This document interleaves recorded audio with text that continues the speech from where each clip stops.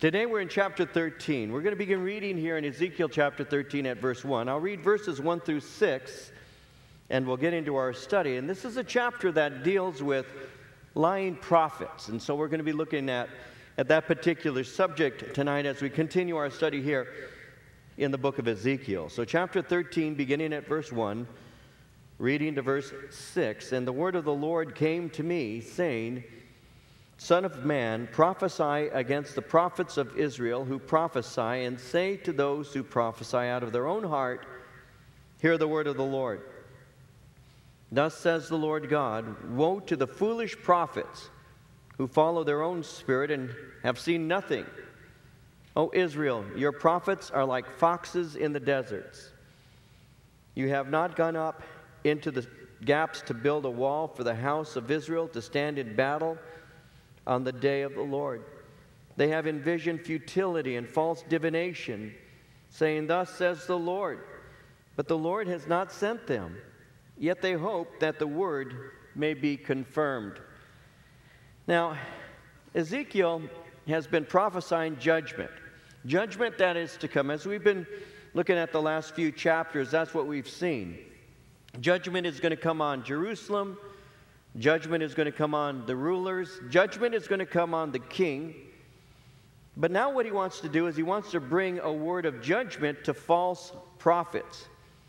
You see, during this season in Israel's history, false prophets rose and had tremendous influence. It's interesting if you begin to note that, you can see that Ezekiel and Jeremiah, both prophets who prophesied in similar times, you know, I, I believe that um, Jeremiah prophesied something like 627 years before Christ to about 580. And Ezekiel prophesied something like 592 to 570 BC. So they basically had ministries that overlapped. We know that Ezekiel's prophecies took place while in captivity in Babylon.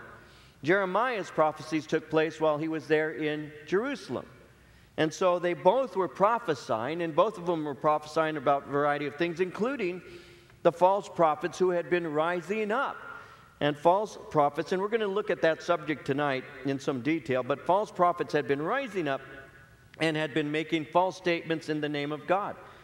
You see that in Jeremiah. Let me give you a couple of scriptures just to point that out. Jeremiah chapter 5, verses 30 and 31. An astonishing and horrible thing has been committed in the land. The prophets prophesy falsely, the priests rule by their own power. My people love to have it so. But what will you do in the end? Jeremiah 23, 13, and 14 have seen folly in the prophets of Samaria. They prophesied by Baal and caused my people Israel to err. Also, I have seen a horrible thing in the prophets of Jerusalem. They commit adultery, walk in lies. They also strengthen the hands of evildoers, so that no one turns back from his wickedness. All of them are like Sodom to me, and her inhabitants like Gomorrah. Jeremiah 29, 8 and 9. Thus says the Lord of hosts, the God of Israel Do not let your prophets and your diviners who are in your midst deceive you, nor listen to your dreams which you cause you to be dreamed. For they prophesy falsely to you in my name. I have not sent them, saith the Lord. And so Jeremiah was dealing with false prophets as well as Ezekiel, people who are rising up prophesying things that were not of the Lord. And that's what we're seeing here. Notice in verses 1 and 2 how it says, The word of the Lord came to me, saying, Son of man, prophesy against the prophets of Israel who prophesy and say to those who prophesy out of their own heart, Hear the word of the Lord. Speak to those who are prophesying out of their own heart, is what he's saying. Now, he's to prophesy against the false prophets because the false prophets are influencing the people. These people are not genuine. And the reason that they're being declared here as being not genuine is because the Lord is not the one moving them. Notice how he says they prophesy out of their own hearts. These are people who are speaking by their own authority. What they're giving is fleshly, polluted messages right from their own imagination. They're misled, in that they're speaking from their own imaginations and they're giving their own opinions. Again, in Jeremiah chapter 14, verse 14, it says, The Lord said to me, The prophets prophesy lies in my name. I haven't sent them, commanded them, nor spoken to them. They prophesy to you a false vision, divination, a worthless thing, and the deceit of their heart. And so that's what false prophets do. They prophesy falsely. They give false visions. They give things out of the deceitfulness of their own heart. You see, the heart is desperately wicked. It's deceitful. It's filled with self inclination. That's why we need a new heart. That's regeneration. That's why we need God's word to be written on the tablets of our heart. You see, because the heart represents the inner man, it represents the internal motivations and a variety of things that relate to that. And God wants to give to us a new heart because the old heart, representing the old nature, is filled with itself, selfish ambition, and when it has a tendency of speaking, it has a tendency of speaking things that aren't necessarily things that God would agree with, you see. And the false prophets are prophesying out of their own heart. They're speaking concerning their own, through their own motivation, and they're developing their own ministries. And God is saying here, prophesy against them because they're not speaking what I have spoken. Notice how it says it in verse 3. It says, Thus says the Lord God, woe to, woe to the foolish prophets who follow their own spirit and have seen nothing. O Israel, your prophets are like foxes in the deserts. You have not gone up into the gaps to build a wall for the house of Israel to stand in battle on the day of the Lord. They've envisioned futility and false divination, saying, Thus says the Lord. But the Lord has not sent them. Yet they hope that the word may be confirmed. You see, when you study your Bible and you look into the Old Testament, you see that genuine prophets are those who are directed by God.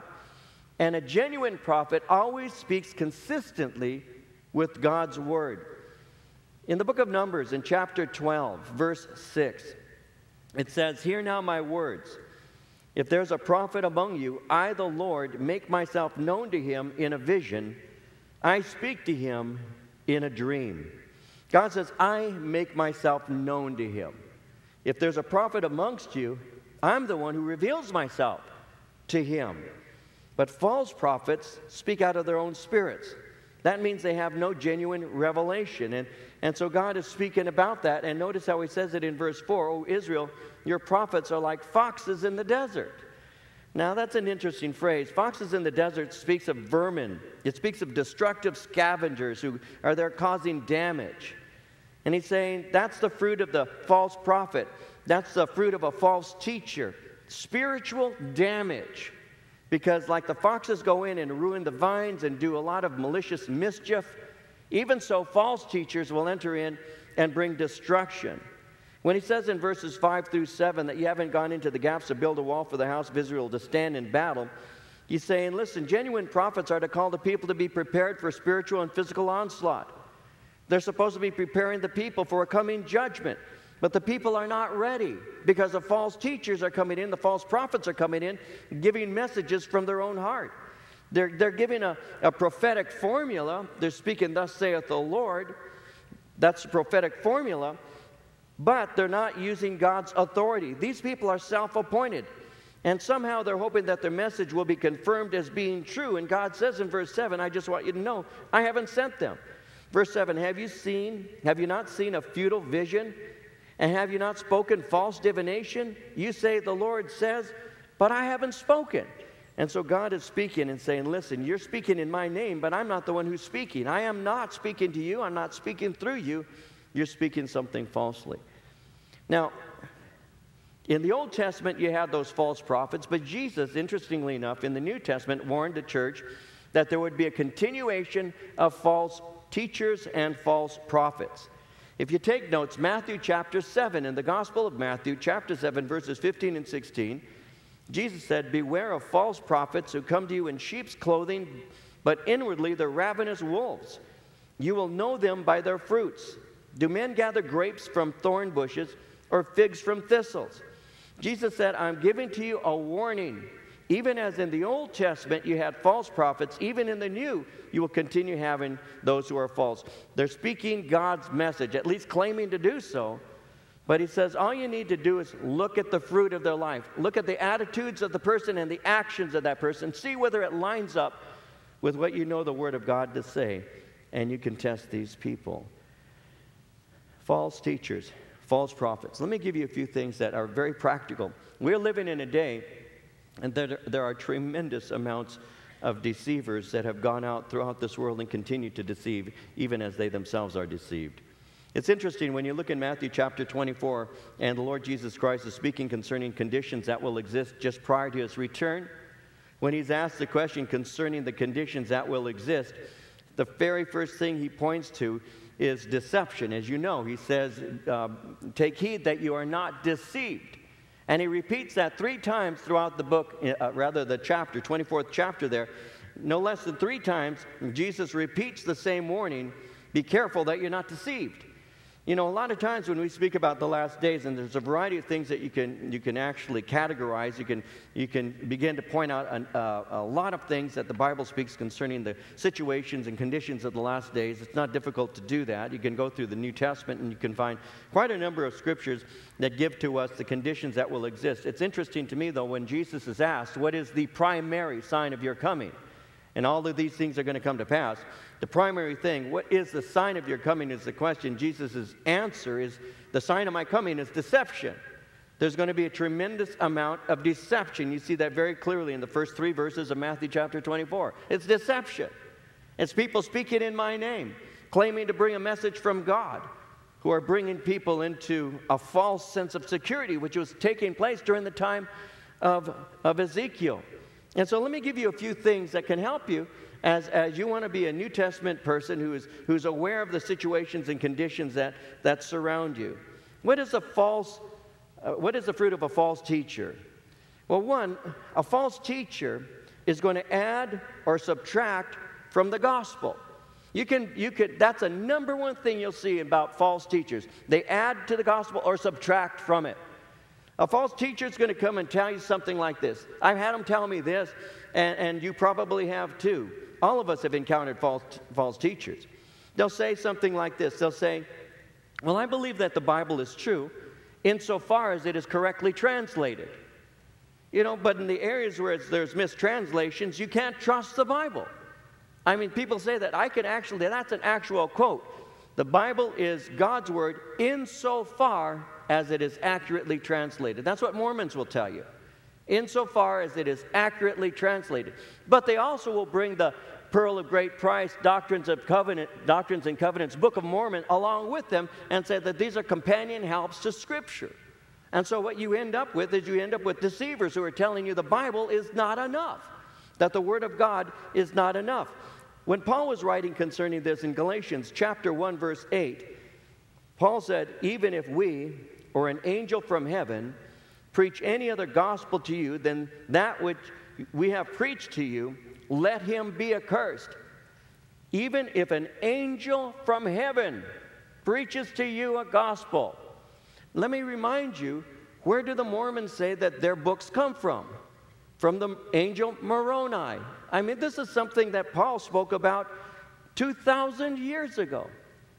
When Muslims will tell you that the Quran is God's holy book, they also tell you that it came through Gabriel.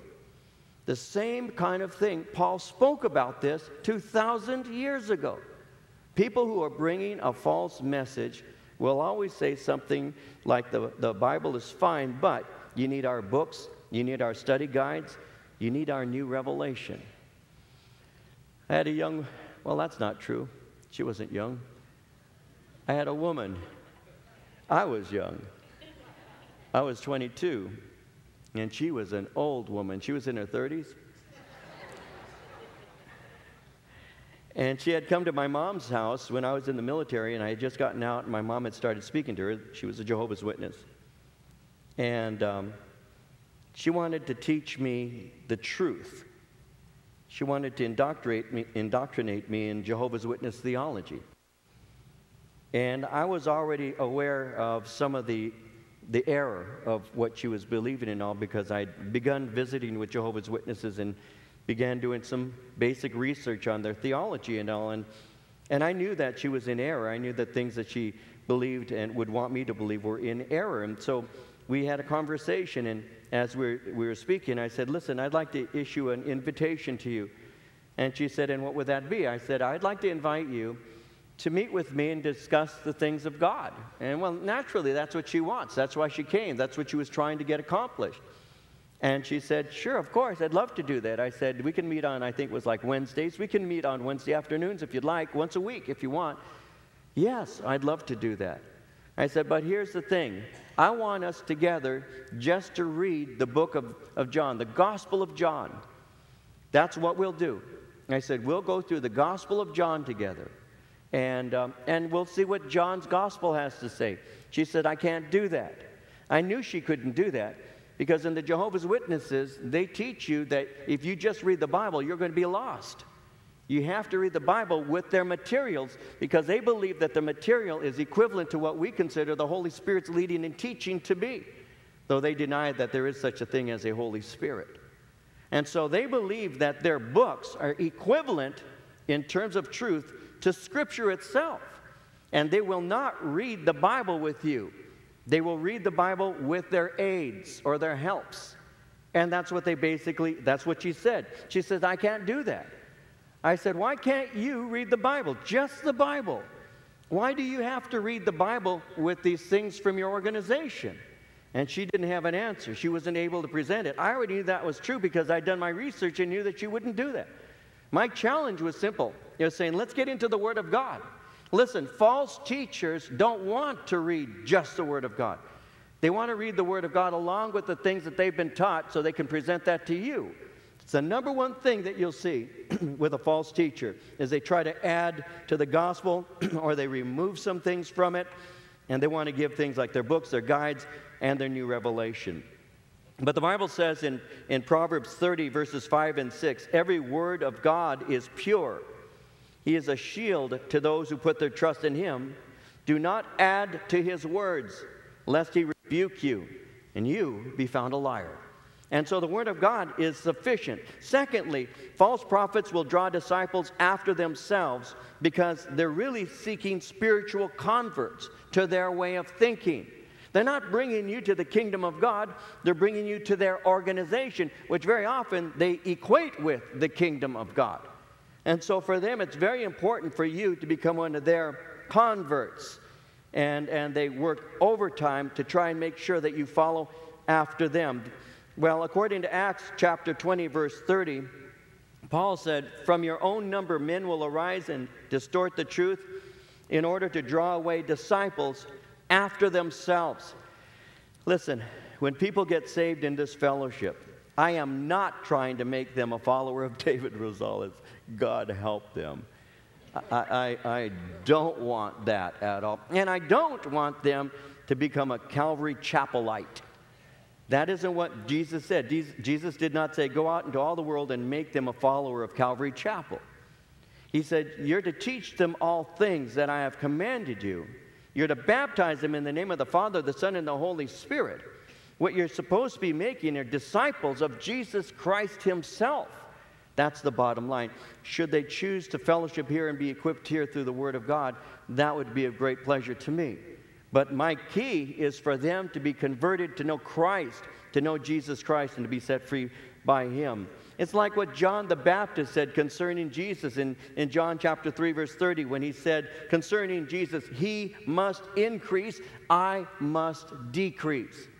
A false teacher is very busy trying to have spiritual scalps, very busy trying to fill up their quota of people that they have brought to their new organization. A third thing that you can see about false prophets is they're greedy. They're greedy for material gain, and they use people for personal gain. You see that quite often. In the book of Titus, in chapter 1, verses 10 and 11, Paul, speaking about this, said this. He said, There are many rebellious people, mere talkers and deceivers, especially those of the circumcision group. They must be silenced because they are ruining whole households by teaching things they ought not to teach. And that, he said, for the sake of dishonest gain. And that for the sake of dishonest gain. They will make a profit off of you. False prophets are greedy for material gain, and they use people for personal gain. You know, when Paul was speaking concerning himself and his ministry, he said in 2 Corinthians chapter 12, verse 14, I'm ready to visit you for the third time, and I will not be a burden to you. Because what I want is not your possessions, but you. After all, children should not have to save up for their parents, but parents for their children. I don't want what is yours, I want you. I've mentioned this to you before. Many years ago, I received a, uh, in, in the mail, this is when our church was less than a year old, I was opening up mail, and there was a check in one of the uh, envelopes. And I recognized the name of a young woman, and I knew her and her husband. And I hadn't seen them for a while. And it said, My tithe. And, and I wrote her a letter. And in the letter, I, I said something like, You know, I, I appreciate the fact that you consider this your home fellowship, and I appreciate the fact that, that you sent a gift to the Lord. But I quoted the scripture to her. I said, But the bottom line is this we don't want your money, we want you. We want you. I said, I haven't seen you. I haven't seen you. And it would be good if you were here in church in fellowship getting in the Word of God.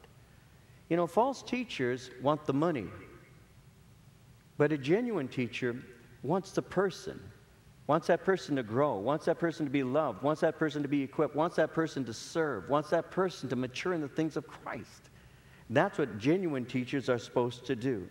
A fourth thing about false prophets and false teachers is they have no love for God's children at all. They have no love for God's children whatsoever.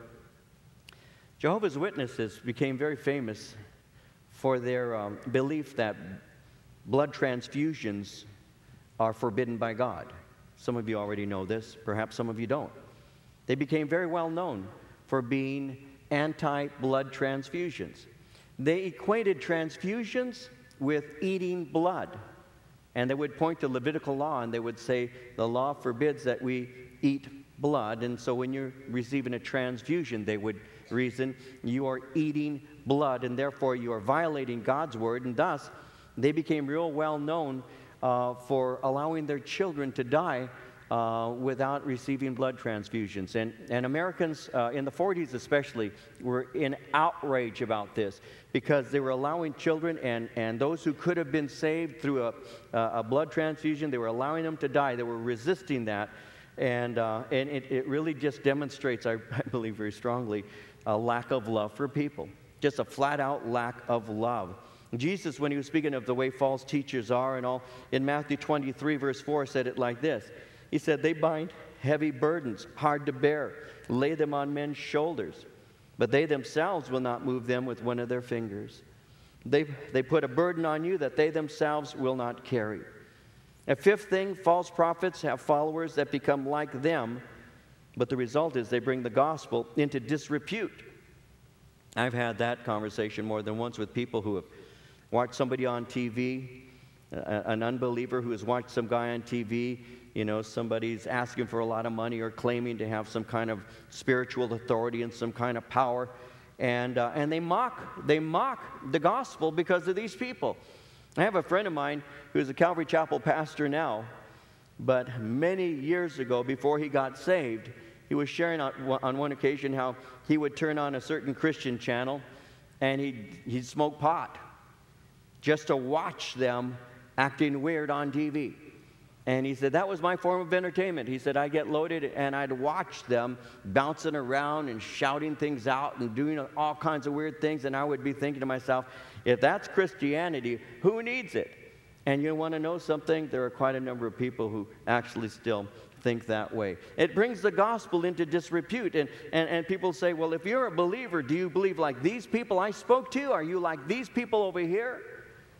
And I'll tell you, it brings the gospel into disrepute. In 2 Peter chapter 2, verses 1 and 2, it says, There were also false prophets among the people, just as there will be false teachers among you.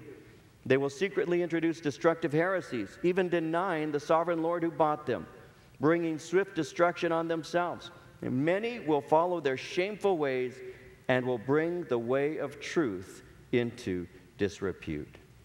A sixth thing about false prophets, and this is a key, and this is something to be aware of, is they change Jesus Christ from being the Son of God, second person of the Trinity, and our Savior. They change him. I got an interesting letter this week. Somebody was listening to K Wave and um, got angry enough to write me a letter. And I said, Roll, you really could just call me. no, you didn't have to write me a letter. No, they got upset. They got. I just was reading it. I, I just responded to it yesterday, but I reread it again.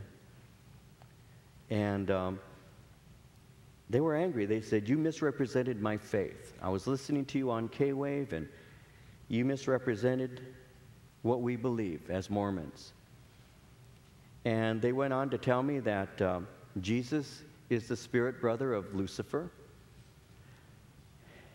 And they went on to say they believe in the pre existence of the human soul. See, these are things that some of you may not be aware of. Perhaps some of you are familiar with this. Mormons believe that Jesus Christ is the spirit brother of Satan.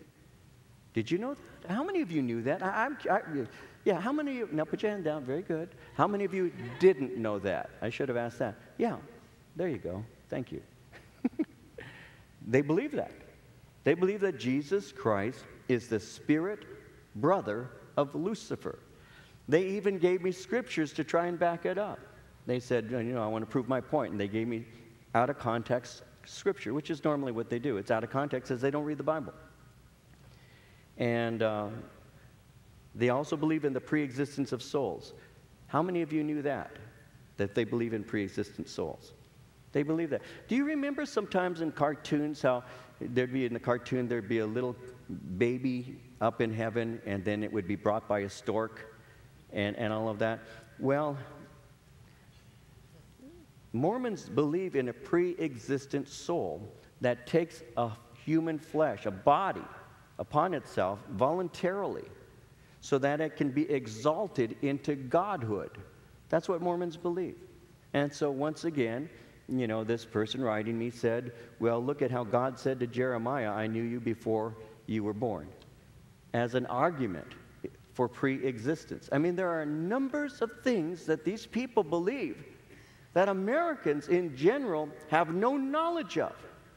And so, when somebody like, like me, when somebody like me stands up and says, This is error, I get people angry. I mean, I don't know if any of you are getting mad at me or not right now, but that happens most every time. They say, How can you judge a brother? They're not brothers, they're not sisters. They don't have a relationship with Jesus Christ. This person was saying um, to me, All God says is to believe. That's all you're supposed to do. And then gave me several scriptures about believing that Jesus is the Son of God. All you need to do is believe. Is that right? And there is, the word belief simply means just to have faith in something. It, it, it, that's kind of where this person was going with that. You just have to believe. It's kind of like that mentality all roads lead to heaven. All roads do. And, people who do that, who say that, and they do say that, you've heard it, I've heard it. No, all roads go to the same place. All roads go to heaven. Is that right? So, next time you take a business trip and you're in Philadelphia and you're wanting to come back to LA, jump on any plane.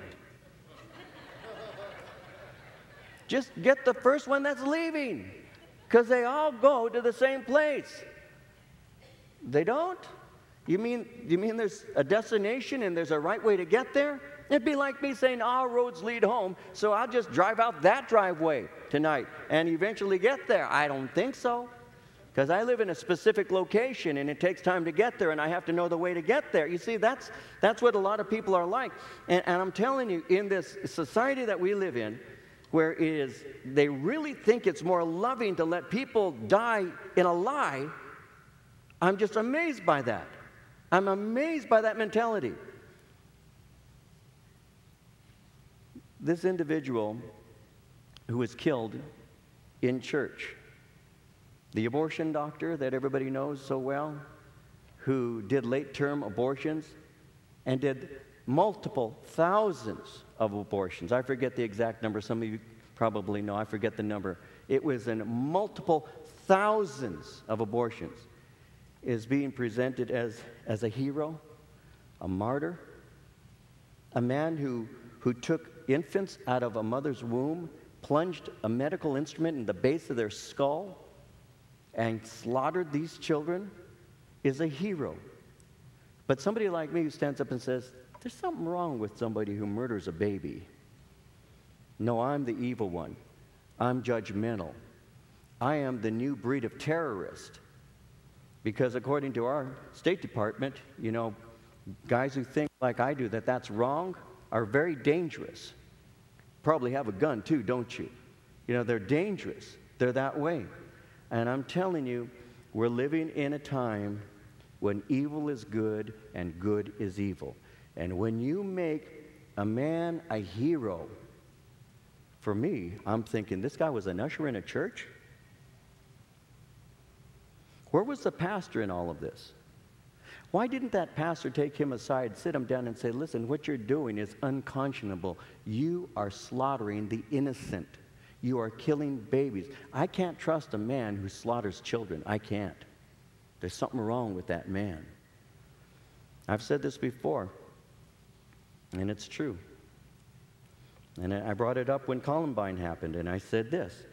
I said, Do you think that the safest place for a child ought to be a classroom? Now, I want you to think about that. Perhaps you haven't heard me ask that question. Do you think that the safest place for a child should be a classroom? And the overwhelming majority of the church, when that went down, when I asked that, I said, How many of you think that? So many, yes, I believe the safest. Well, look at, we're, we who are parents, we drop our baby off at kindergarten, first grade, whatever. I want them safe in that classroom. There's no doubt about that. And I think that ought to be a secure location. They ought to be 100% safe in that classroom. Nobody would argue otherwise. But I said to the church, and I still believe this the safest place for a child is not a classroom. The safest place for a child ought to be the mother's womb. And when you kill a child in a mother's womb, you will kill a child in a classroom. That's how it works.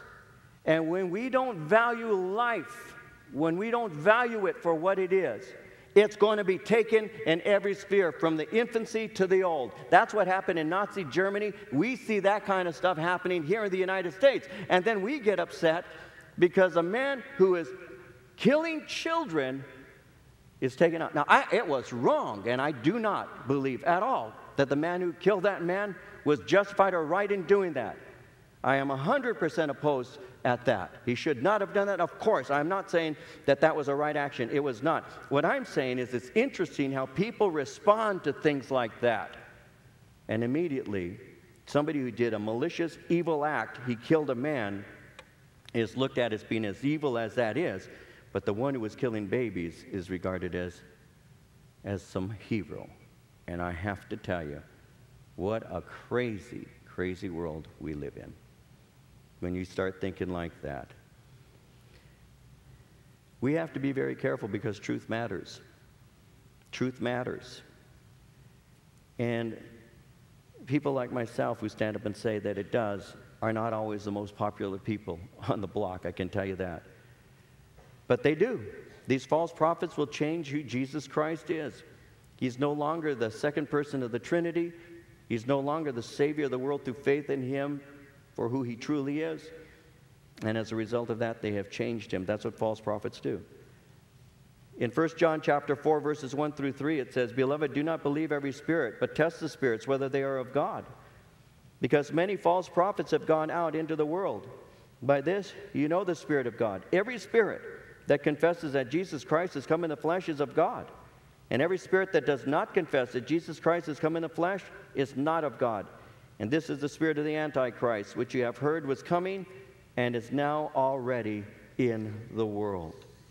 And so, false teachers, false prophets, and the Lord is speaking concerning that. Now, verse 8 Therefore, thus says the Lord God, because you have spoken nonsense and envisioned lies, therefore I am indeed against you, says the Lord God. My hand will be against the prophets who envision futility and who divine lies. They shall not be in the assembly of my people, nor be written in the record of the house of Israel, nor shall they enter into the land of Israel. Then you shall know that I am the Lord God. Because indeed, because they have seduced my people, saying peace when there is no peace. And one builds a wall, they plaster it with untempered mortar. Say to those who plaster it with untempered mortar that it will not fall. There will be flooding rain, and you, O great hailstones, shall fall, and a stormy wind shall tear it down. Surely, when the wall has fallen, will it not be said to you, Where's the mortar with which you plastered it? So he says, The Lord God says this You've spoken nonsense. In other words, you have not represented me. You should have been calling the people to repentance. Judgment is quickly approaching. But instead of doing so, you've continued giving false hope and are, are telling the people that they're not going to be judged. And you're going to receive a judgment for that. You're not going to be in the assembly of God's people. In other words, you'll have no respect amongst the people of God. Your names are going to be omitted from the register of Israel, which more than likely speaks of them being blotted out of the book of life. And, and, you're never going to return to the land of Israel. You're doomed to die in exile. And the reason, verses 10 through 12, is because you seduced my people, saying peace when there is no peace. What's so wrong with that? Why not encourage the people? Well, you gave them a false security. All along, Ezekiel and Jeremiah are crying out, saying, Judgment is coming, and you are giving to them false hope. And that, God would say, is a very great sin. Because instead of encouraging people to live holy lives, you encourage those people to stay in sin. Now, that's one of the reasons why teaching through the Bible is so important. When you take the Bible and you teach through books of the Bible, you give what is called the whole counsel of God. Believe it or not, and I think those of you who have been in this church for a while, you might believe this. But believe it or not, if I had my way, I'd probably teach mostly on fellowship. Mostly on fellowship. I love fellowship. I enjoy hanging around with believers. I like getting together with them. I like, I like having coffee with them. I like visiting with them. I like praying with them. I like talking about Jesus with them. I love that. I mean, if I had my way, almost every one of my messages would be centered on that. I have to tell you the truth. That's, that's basically what it would be about. Once in a while, I'd throw something in on family, because I like family too. But I like fellowship. I like those things. When our church first began, you may not know this, most of you wouldn't know this. For the first year, I didn't teach a book of the Bible. For the first year, I taught, I taught topical studies. I taught on worship, I taught on fellowship, purpose of the church, a variety of things like that. For the first year, I was basically doing that. I had something like 53 topical studies. And one day, I started praying, and the Lord began to put on my heart to teach a gospel study, the Gospel of Mark. And I argued with the Lord. I remember this very well. I, I was arguing, I would say to him, if I start teaching through Mark, they're going to be visitors who show up who are going to show up in a chapter and they didn't get the chapters that I taught prior to that. I can teach that on a Wednesday or maybe on a Sunday night. And the Lord was laying it on my heart. He said, You need to do it on Sunday mornings. I mean, this is real. It was like I said, I'm supposed to teach. And I was arguing with him for about three weeks. I was arguing with the Lord. At the same time, I was coming to the end of a study and I was thinking, But Lord, what do you want me to teach? And then I'd hear him say the Gospel of Mark. And I'd say, No, that can't be you. What do you want me to teach? A woman in the church, as God is my witness, a woman in the church I didn't know walked up to me and told me this God wants you to teach the Gospel of Mark. I am not kidding you. I taught it the next week. Serious. I am not kidding. She walked up and said, God says the Gospel of Mark. Whole counsel. The whole counsel of God. How can I know it if I only pick up a book and, and maybe pull a verse out of this and a verse out of that. How can I know the whole counsel of God if all I do is every once in a while have this kind of it's called bibliomancy. I don't know if you ever use that word. I never use it, but it's a nice word I used it just now. you know, one of these things God, what do you have for me today? You know, you open the Bible and just put your finger down. And then, oh, wow, great word for the day, Lord. Thank you so much. You know, like that guy who said, What do you have for me today, Lord? Judas went out and hanged himself. That cannot possibly be a word from you. No, I'll ask you again. What do you have for me? Go out and do the same. I know that's not the Lord, you know. Because sometimes I think people, you know, that's their style of study. It's like, it's like if you went to a movie and you in, intentionally walked into the movie when it's three quarters done. You know, you ever have any, you ever sit down with somebody in a movie, they're not watching the show. You know, they're busy doing, and then they turn to you and say, What did they say? What are they doing? My wife does that all the time. All the time. I say, I don't have a clue, honey. I've been asleep. I don't know. Well, what did he say? No, what did he say? I said, I don't know what he said. I'm not listening. You know, because some people just do that. If you pick up the Bible and do that, then no wonder you're confused half the time. You're not getting the full story. See, the way that you grow is you actually pick it up and go through it. There are some who teach out of the Bible, there are others who teach the Bible. There's a difference. You can teach out of the Bible by just selecting a passage and giving a study out of it. Or you can start in the first chapter, the first verse, the first word, and you can go through the whole book and you can get the whole counsel of God. That's what keeps you safe. It's when you're in the Word of God. That's how you know when someone's not telling you the truth. That's how you can discern that.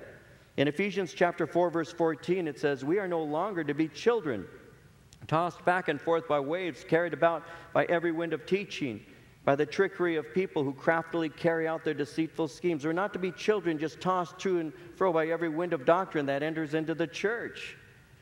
Now, he's illustrating this by speaking of building a wall with untempered mortar.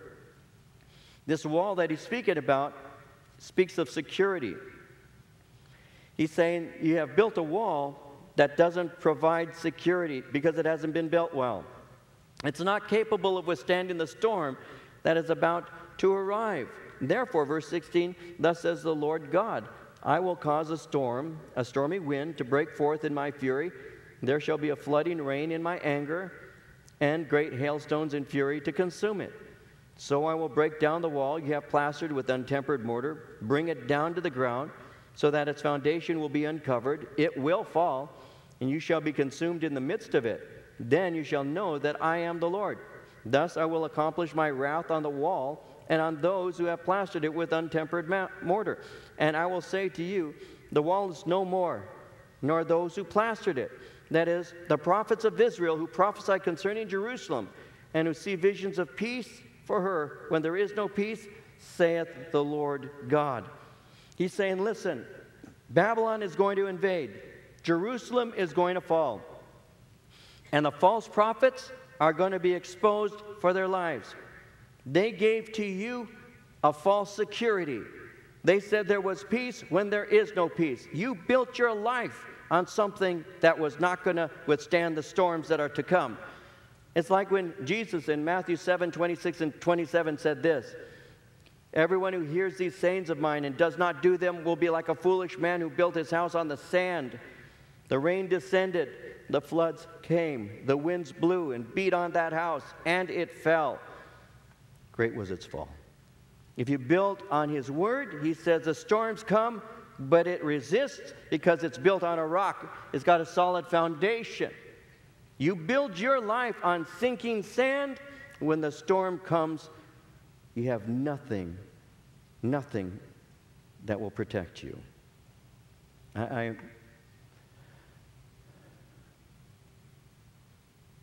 know, one of the greatest traps that I see right now for young people is when they're going to college, they start putting all their trust in the professors and they start putting their trust in books that they're reading and the various things that they're being taught by these, by these professors, many of whom flat out are antagonistic towards faith and antagonistic towards God. Flat out. Some of them are at least bold enough to tell you, I'm here to undermine your faith. And some indeed do. They'll tell you that. I had professors who did that. I feel sorry for you for being a Christian and they undermine. They do everything they can for the entire semester or quarter to undermine you. There's something about human knowledge, there's something about human wisdom. It's very attractive. It's very attractive. Knowledge is, is a very attractive temptation. It's so, it's so attractive, it was the first one that was, was thrown out by Satan to Eve. You shall know was the temptation.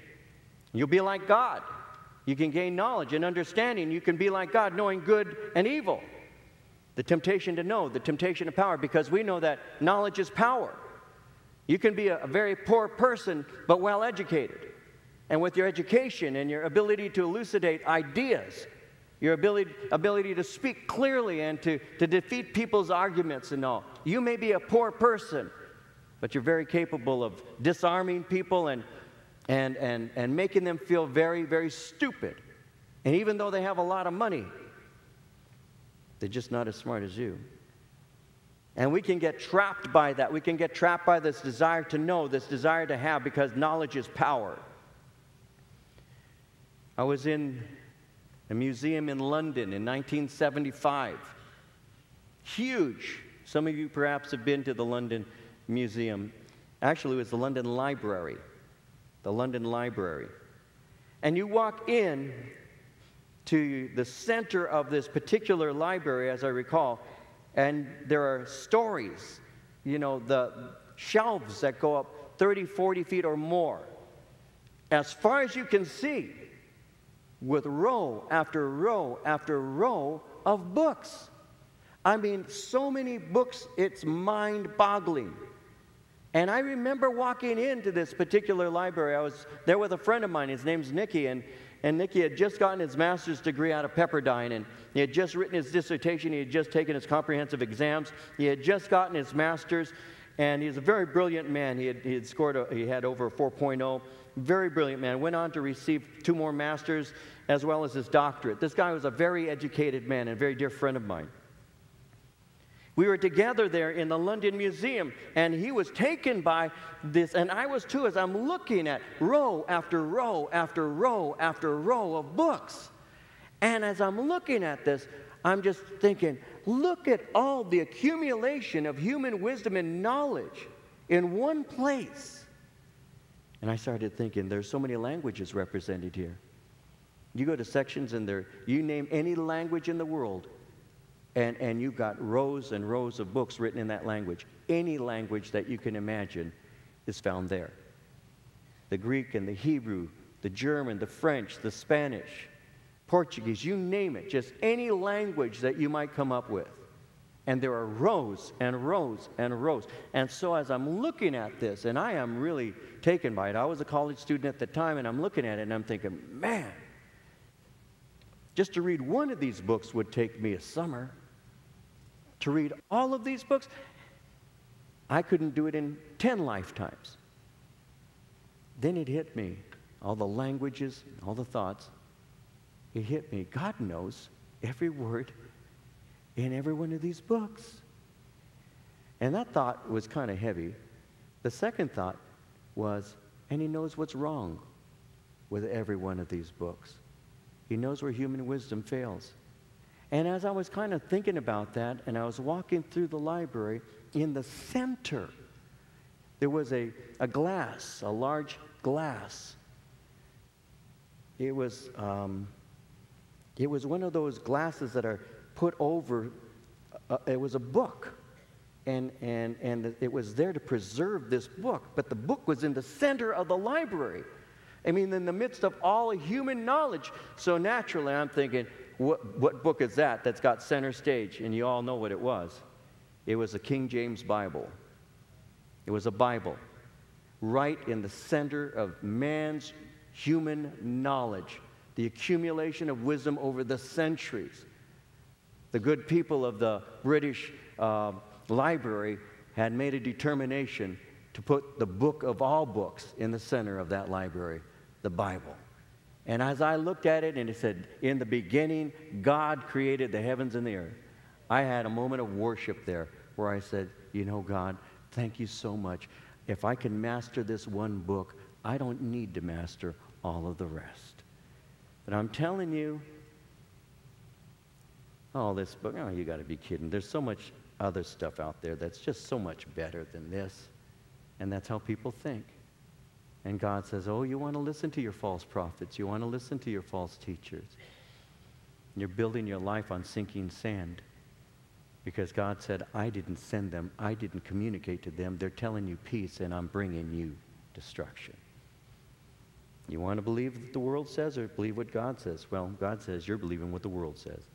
Verse 17 Likewise, Son of Man, set your face against the daughters of your people who prophesy against their own heart. Prophesy out of their own heart. Prophesy against them and say, Thus says the Lord God Woe to the women who sew magic charms on their sleeves and make veils for the heads of people of every height to hunt souls. Will you hunt the souls of my people and keep yourselves alive? And will you profane me among my people for handfuls of barley and for pieces of bread, killing people who should not die and keeping people alive who should not live by your lying to my people who listen to lies? Therefore, thus says the Lord God Behold, I'm against your magic charms by which you hunt souls. They're like birds. I will tear them from your arms and let the souls go, the souls you hunt like birds. I will also tear off your veils and deliver my people out of your hand. They shall no longer be as prey in your hand. Then you shall know that I am the Lord, because with lies you have made the heart of the righteous sad, whom I have not made sad, and you have strengthened the hands of the wicked so that he doesn't turn from his wicked way to save his life. Therefore, you shall no longer envision futility nor practice divination, for I will deliver my people out of your hand, and you shall know that I am the Lord. Well, the only place in the Old Testament that false prophetesses are mentioned is here in this passage. God had moved and God has used the women in Israel. We know that God used Miriam and God used Deborah. They were women who were used by the Lord. They had great honor because they did great things.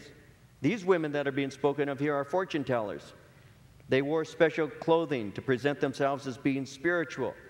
It seems that they had some kind of band around their wrists. It, it may have been as a symbol of a connectedness that they had to some occult power. It reminds me of, of the red uh, string that you'll receive from those who practice Kabbalah.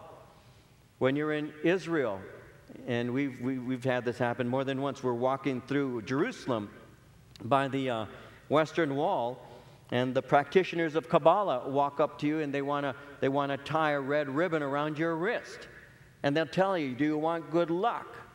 So, this kind of activity is very ancient here they would have something, a band around their wrist that was to demonstrate some kind of connectivity with power. They had head scarves here that they're referring to here. Uh, they could have been veils, it may have been caps, but what it is, it's a picture of putting something over somebody's head. But from God's perspective, it's closing them off from hearing God. And so, what they're doing in, in, this, in this divination that God speaks about is they're actually hunting souls. And what that simply means is they're actually keeping people from having life through God. And the thing that he says here is that the people are more than willing to listen to the lies. Part of the reason why people are more open normally, even as he says there in verse 19, who should not live by your lying to my people who listen to lies. Uh, one of the things about false teachers is they're usually very likable. We need to remember that Jesus was not always well received by those who heard him.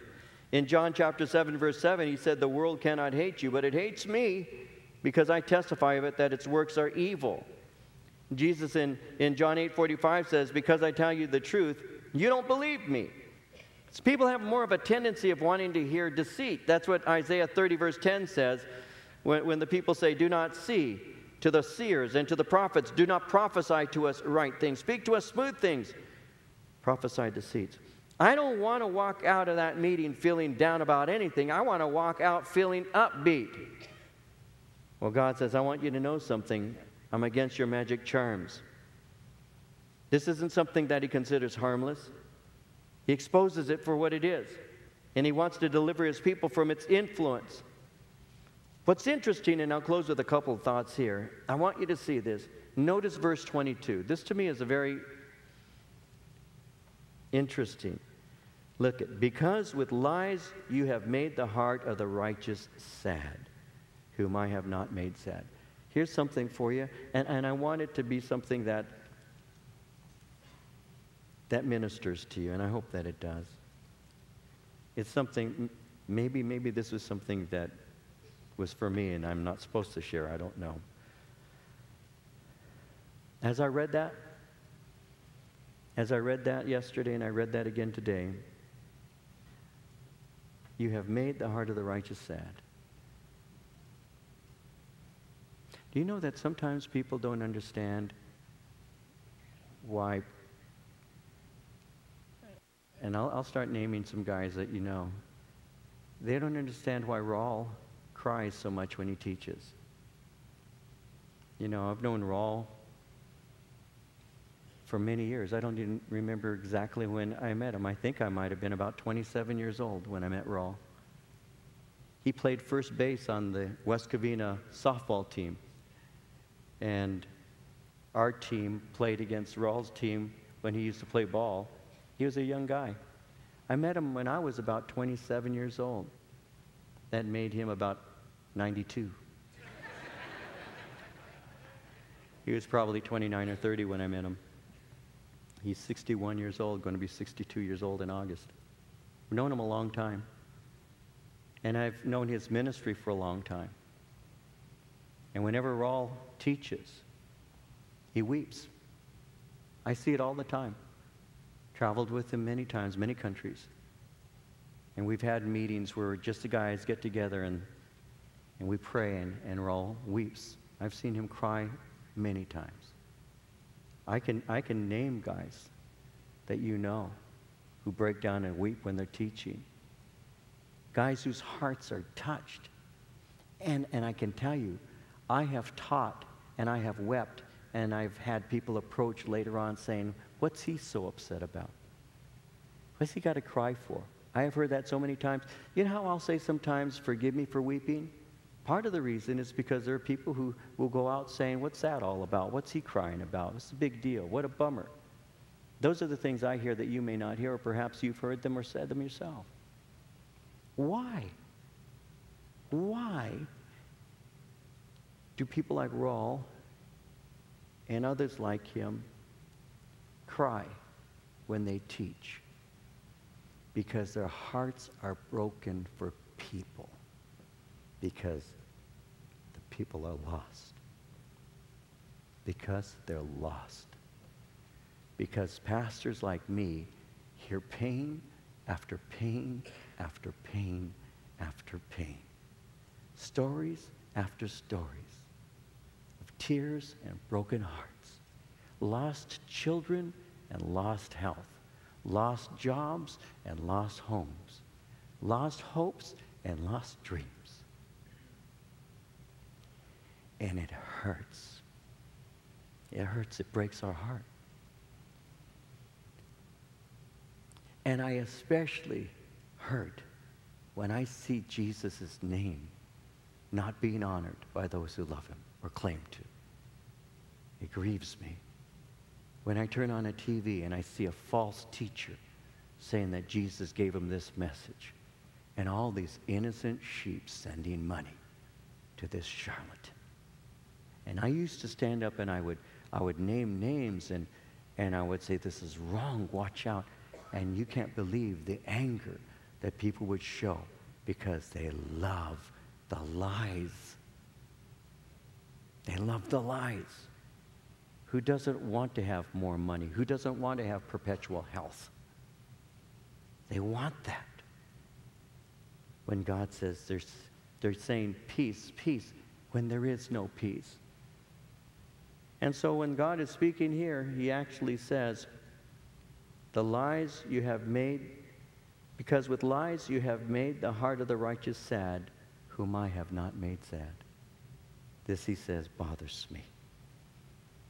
Those who love the Lord will always be saddened when evil is rampant. They will always be saddened when it seems that evil is triumphing. It will always be painful to see people's lives because I have seen it for a long time now. Believing a lie and ending up hurt. You see what happened? These false prophetess, false prophetesses strengthened the hands of the wicked. Their words emboldened evil people to remain in their evil way of life. They never called them to repentance. And so God says, I'll deal with you. Verse 23 You shall no longer envision futility, nor practice divination, because I'm going to deliver my people. I will deliver them from your false influence, and you shall know that I am the Lord. And that's how it works.